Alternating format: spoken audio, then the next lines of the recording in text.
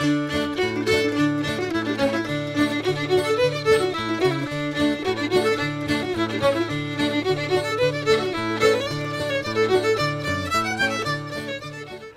hello. Pull up a chair and sit a spell. We're talking over old times.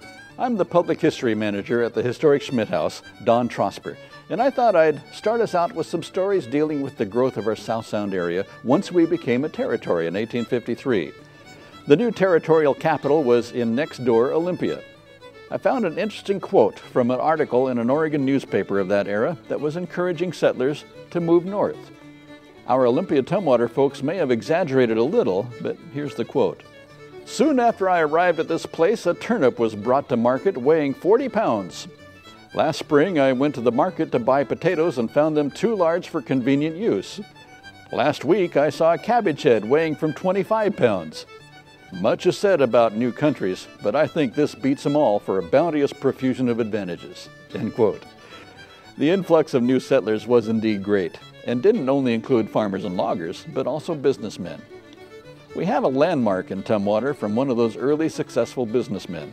You'll see near the freeway an old white wood frame house that just so happens to be one of the oldest houses in the state.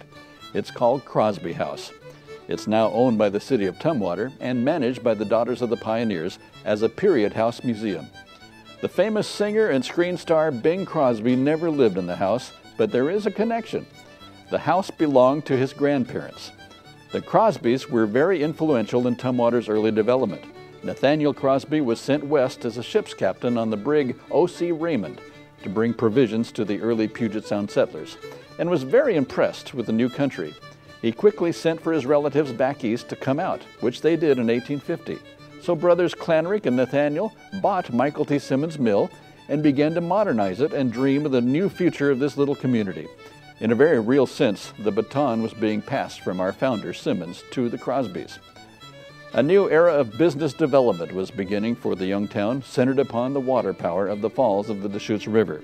Clanrick Crosby's oldest daughter, Phoebe, remembered those first years in Tumwater for the rather steady diet of salmon, clams, and potatoes, a log cabin to live in, and the nearest neighbors being Indians. Captain Clanrick Crosby did great things for the new sawmill, making it more efficient and productive for lumber production. He also built a much larger grist mill for grinding local grain into flour. It was called the Lincoln Flouring Mill.